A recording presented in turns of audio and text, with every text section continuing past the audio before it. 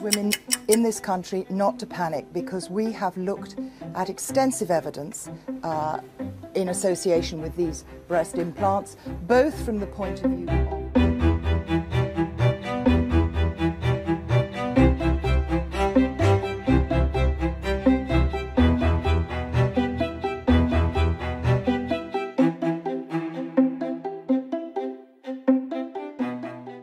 point of view of the toxicity of the filler, we did extensive testing on this and we found no uh, cause for concern in terms of safety issues or chemical issues.